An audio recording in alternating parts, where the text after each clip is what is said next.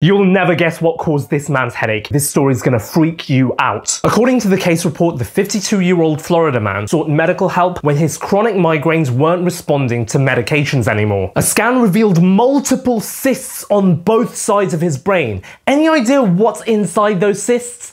Yeah, they're worm eggs. Worm eggs! But how on earth did they get there? Well, this man preferred eating soft bacon compared to crispy bacon. It's likely that he ate undercooked bacon infected with pork tapeworm eggs. When you eat the microscopic eggs, you can hatch a pet tapeworm in your gut too. That lays more eggs, which can get into your bloodstream and even enter your brain. This is a condition called neurocysticercosis. If you've ever watched House MD, spoiler alert, this is the diagnosis in the very first episode episode. It can also present with seizures. He was treated with steroids to reduce the brain swelling and antihelminthics to kill the worm and eggs. This story has two lessons. Don't eat undercooked pork. See a doctor if the pattern of your normal headaches change.